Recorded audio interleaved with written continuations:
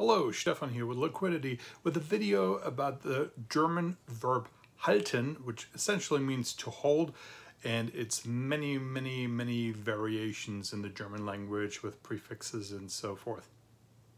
Loquidity. The German verb halten is somewhat irregular. It is called a strong verb because when you conjugate it in the present tense, the vowel changes somewhat in the second and third person singular.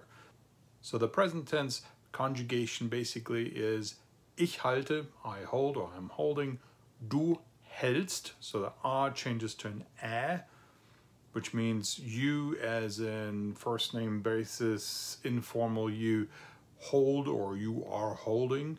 And then we have he, she, it, er, sie, es, hält, and for the plural, we're back to our regular R sound. So we would have wir halten, we hold.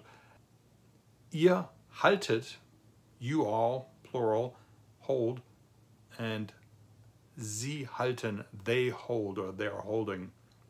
And then for the formal, it would be basically the same as the third person plural, just the S is capitalized, sie halten. You, sir, hold or you, ma'am, hold or are holding. In the past tense, the ah sound changes to an e sound, and in German that is spelled ie. So ie is not phonetically completely logical in German, it just represents a long e sound. So it would be ich hielt, du hielst, er sie es hielt, wir hielten, ihr hieltet, and sie hielten. And the past participle is gehalten. So if I wanted to say I have held, I would say ich habe gehalten. Halten is very, very close in meaning to the English word to hold. And the verb halten can also mean to actually stop, to stop yourself or to stop something or someone else simply because it means to hold, as in to hold in place, right? And if you wonder if the English word to halt or the command halt is related to that, yes, absolutely. It is actually a loan word. It is a loan word from German.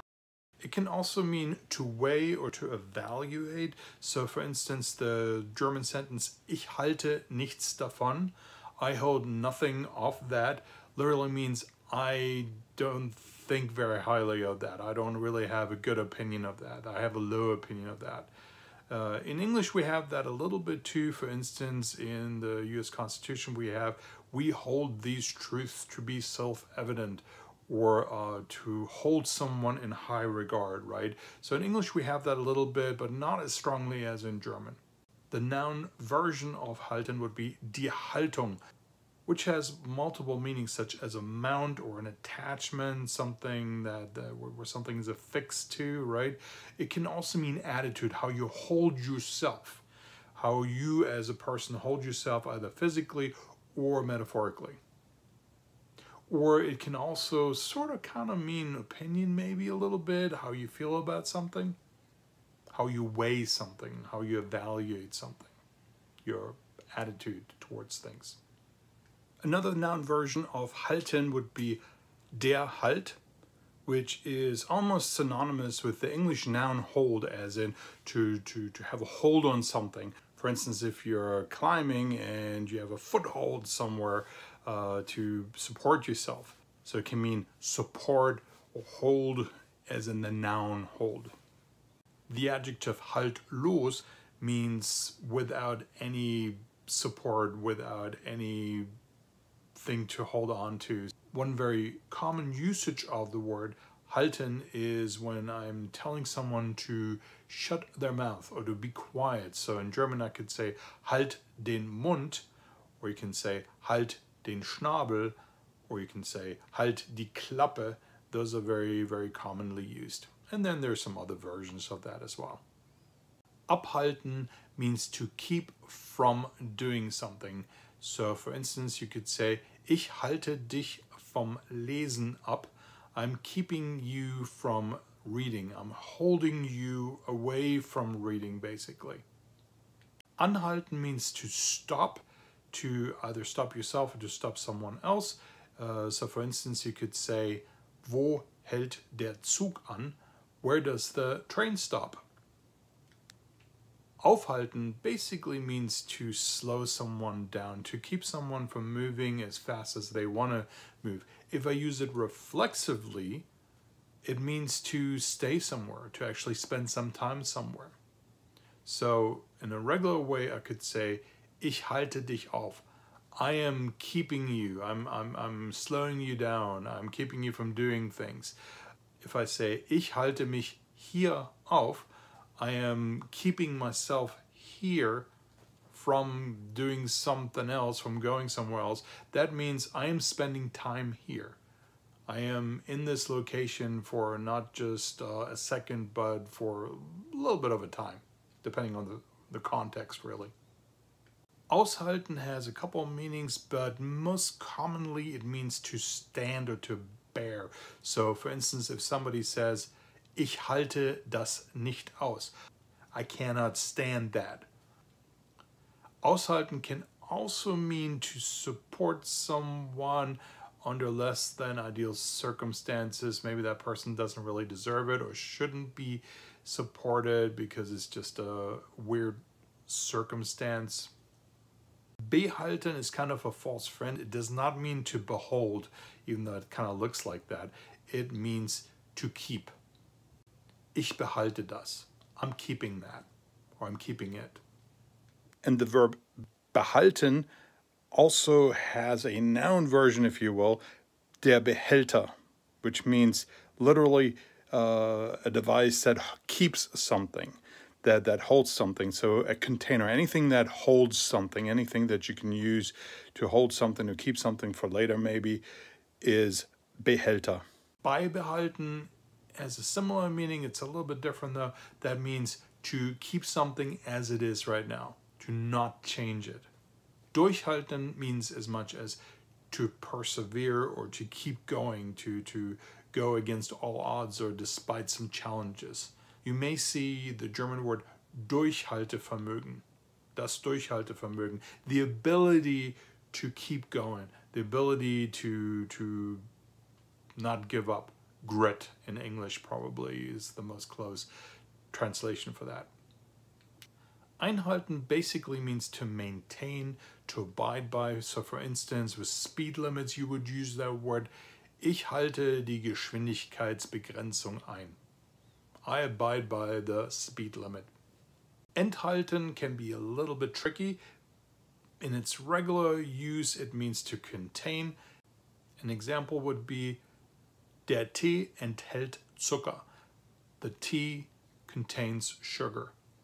Reflexively, it can mean to abstain. Ich enthalte mich. I am keeping myself from something.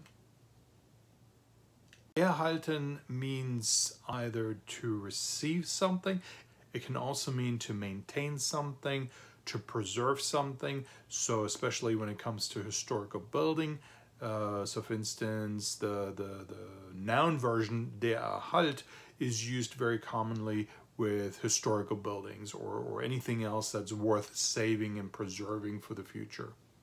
Festhalten, to hold firm, to, to hold fast, maybe even you, you could say in English, uh, means literally that, to, to hold something uh, in place, to, to uh, not let go.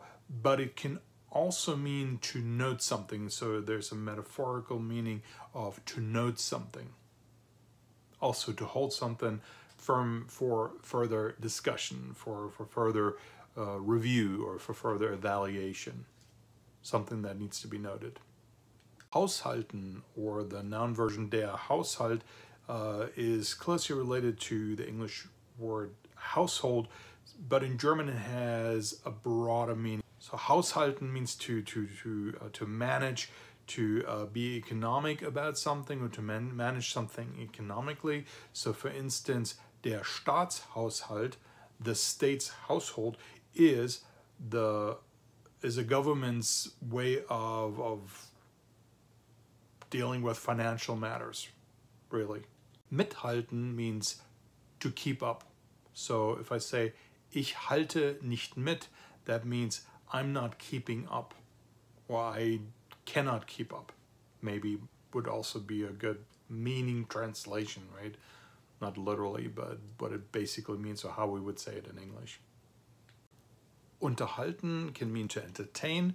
Uh, it can also be used reflexively to mean to have a conversation. So very, very commonly used verb, unterhalten. It can also mean, not very commonly used, it can also mean to support someone again, to basically pay for somebody else's expenses. Uh, with a slightly negative connotation, but yeah. So die Unterhaltung, the noun version of that, usually means entertainment, but it can also mean a conversation, a chat that people had.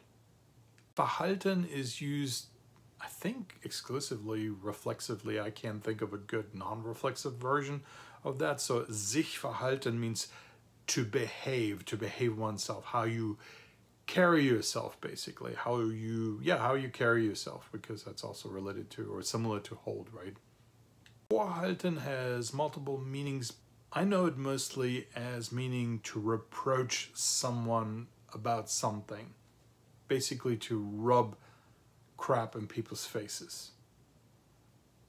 Like that sort of like like like to hold uh, your flaws right in front of you. Kind of.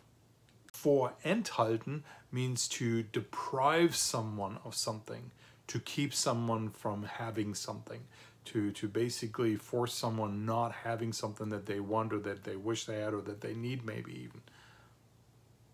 So obviously related to enthalten, so we have two prefixes here, vorenthalten, vorenthalten sich zurückhalten, which is the reflexive meaning, means to hold yourself back in the sense of keeping from saying something that you would like to say or keeping yourself uh, from doing something that you would like to do but you think it's wiser not to do that. To um, yeah to restrain yourself really zusammenhalten means to hold together to work together to stick together here's a common noun die Haltestelle, or more specifically, die Bushaltestelle if it is about a bus, right, a public bus. So Haltestelle means a place where public transportation holds, stands, stops, picks people up, lets people out.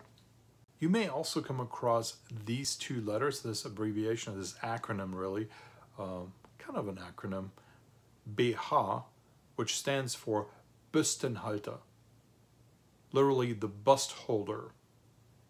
This is a German word that's maybe not that common anymore, but it basically means bra. Here's another very common noun, das Gehalt, basically means salary. I hope you enjoyed this video. If you did, please give it a like. If you like my other videos, uh, subscribe to my channel if you haven't done so yet. Take care. Bye. Leave some comments if you'd like to leave comments.